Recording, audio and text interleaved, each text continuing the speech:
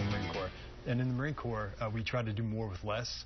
And we didn't always have the best equipment, but the one thing the Marine Corps always did was invest in training its people. And as a result of that, it was a very, very good organization. And I think we, I'm going to try to bring that same attitude uh, to, to, the House Appropriations Higher Education Committee, which is that we have to do more with less, um, but we should always focus on investing in people. And uh, we should never cut corners in that. I And that means you know, spending money in higher education, uh, training the future of engineers, training future healthcare workers, health professionals, um, and so we're ready to meet the challenges of the next century.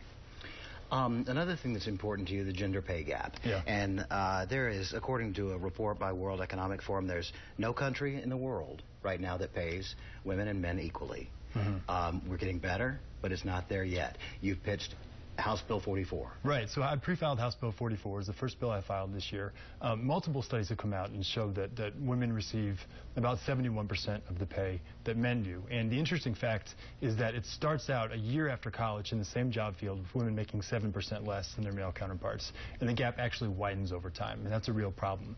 So I filed a bill that would require the Department of Labor and Industrial Relations uh, to establish best practice guidelines that uh, the business community could adopt to try to address that. Things like like increased transparency of salaries, uh, having a, uh, one member of human resources that's accountable for checking in companies to see uh, what the gap is. And just by having these uh, these devices, these tools available, I think the business community can address a large portion of that wage gap.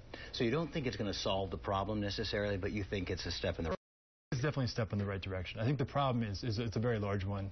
Um, there's a lot of different components to it, uh, and so I don't know if we can solve it with one bill. But I think if we can start chipping away at it and making substantial improvements, and the important thing, the thing that people don't realize is that, I mean, this is a family issue, right? So um, women that make less, uh, if, if their children have access to, to less resources, um, their family has access to less resources, that it slows the economy, um, and it's simply unfair.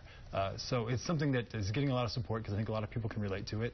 And I think that people understand that it's not about creating more mandates, um, but simply giving employers more tools that they can use. Because I, I, don't think anybody starts out saying, I want to pay uh, genders differently. Um, I think there's a, a set of complicated uh, societal factors that results in that happening. And if we can address those in, in, a way that doesn't add additional regulations but gives additional tools, I think that's a win for everybody. And it's very deep-rooted, too. It goes mm -hmm. back a long time in history. Now, you um, is, this, is, this, something modeled after another state, or is this all your uh, They've been doing idea? some pretty good work in New Mexico. Um, this one is actually one that uh, me and, and, my team and myself worked on uh, to come up with, and I think it's a, it's a Missouri solution, um, and I think it sort of addresses uh, it's, it's custom to our, our community, custom to our state government. Um, and I think it's one that, that hopefully a lot of people get on board with and, and will work. I know you still have some time left, but you're term limited. Yes. What's next? Yes.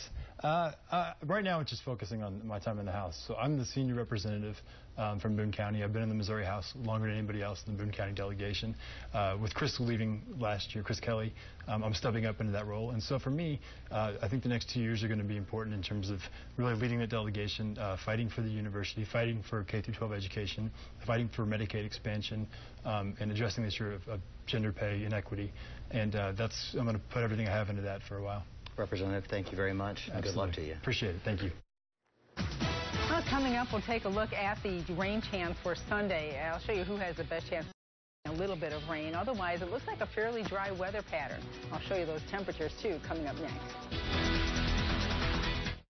When police looked inside that trunk, they found a noose, a pipe bomb. No one covers Mid-Missouri news, weather, and sports like we do. Mizzou football is just a few minutes away from kickoff against Texas A&M. ABC 17 News.